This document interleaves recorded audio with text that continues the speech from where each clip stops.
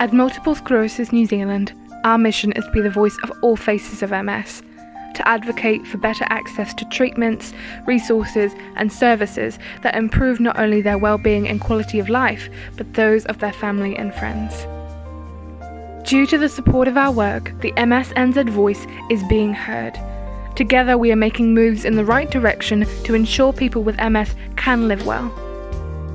In March 2021, you supported our lobbying for Pharmac to change its access criteria so Kiwis are able to remain on treatment for significantly longer.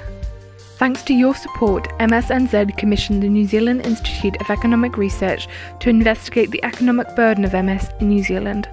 The report clearly shows that early intervention of MS will not only save the New Zealand health system millions of dollars per year, it will also contribute millions back to the economy through individual income earnings. Your help has given us the real life data we needed to provide the government with clear evidence to make informed decisions about access to vital multiple sclerosis treatments and support.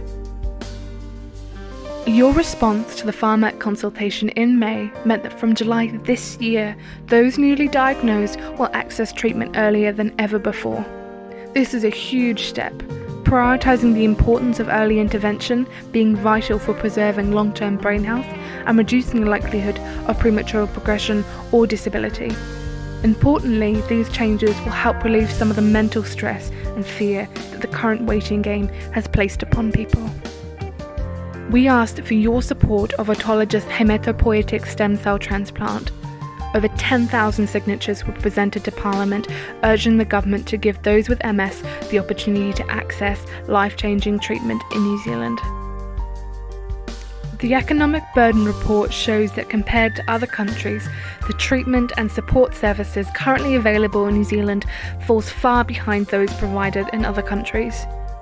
We still have a long journey ahead for people with MS to receive the support that they deserve, and we can't do it alone. We need your support to help Kiwis with MS receive the treatment that they deserve.